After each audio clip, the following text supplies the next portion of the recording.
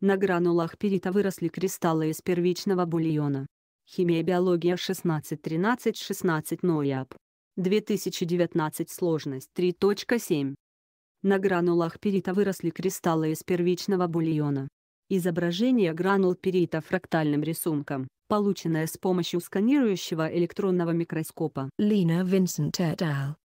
Life. 2019. Группа американских и японских ученых установила, что химические экосистемы могут эволюционировать при наличии ресурса исходных реагентов. Авторы новой работы смешали раствор простых органических веществ, неорганических солей источника химической энергии, атф или персульфата аммония, с порошком перита, перемешивали пару дней, а затем перенесли часть в сосуд с новой порцией исходного раствора спиритом и последовательно переносили 40 раз. На 12 поколений концентрации органических веществ и производного атф начали снижаться, а на кристаллах перита образовывались фрактальные рисунки. Результаты исследования опубликованы в открытом доступе в журнале Life. Согласно одной из теорий возникновения жизни, развитие необходимых сложных веществ на Земле произошло благодаря эволюции химических экосистем, которые накапливались на поверхности минералов и состояли из молекул, способных катализировать реакции образования друг друга. Одна из моделей возникновения таких систем основана на предположении о том, что органические молекулы адсорбировались на железисто-серных минералах и росли в окружении источников атомов углерода.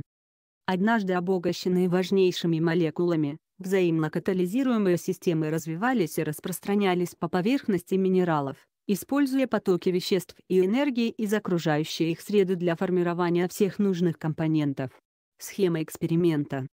В процессе переноса небольшой части суспензии предыдущего поколения в новый раствор спиритом химические вещества распространялись по минералу, изображено желтым, достаточно быстро, избегая разбавления. Lena Vincent et al. Life. 2019 поделиться чтобы убедиться, что изменения в растворе протекают благодаря последовательному переносу в сосуды с новыми растворами, а не в результате старения или попадания веществ из окружающей среды, исследователи сравнивали результаты с контрольными образцами. В 10 независимых сериях эксперимента авторы обнаружили значительное снижение концентрации ортофосфата в поколениях 6, 12 и 18 по сравнению с контрольными растворами. Исследователи предполагают, что это произошло либо из-за осаждения или адсорбции на перите, либо из-за перехода во вторичные неорганические анионы или фосфорилированные органические соединения. Содержание органических соединений, которые поглощают электромагнитное излучение в и видимой области, начало снижаться в 12 поколений. Авторы утверждают, что эти соединения покидали раствор аналогично ортофосфату. На изображениях сканирующего электронного микроскопа гранул порошка перита исследователи заметили фрактальный рисунок, который на гранулах контрольного образа встречался редко. В результате дополнительных экспериментов авторы убедились, что для образования рисунка необходимо наличие в растворе как неорганических солей, так и органических веществ и адв. По словам авторов, это указывает на наличие органического слоя на поверхности перита, который позволяет образовываться кристаллическим структурам.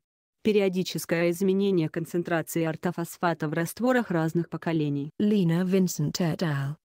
Life. 2019 поделиться.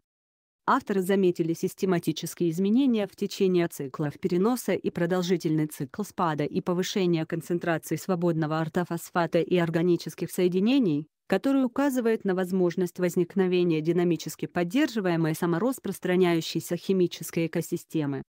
По их словам, модификация использованного метода изучения эволюции химических экосистем спиритом путем варьирования начальных компонентов и концентраций поможет ученым лучше понять возникновение условий для развития жизни.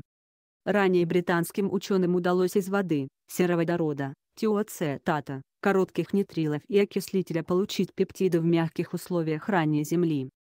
Полипептидная цепь наращивалась в результате цикла последовательных реакций теолиза, гидролиза и окисления. Алина Кротова,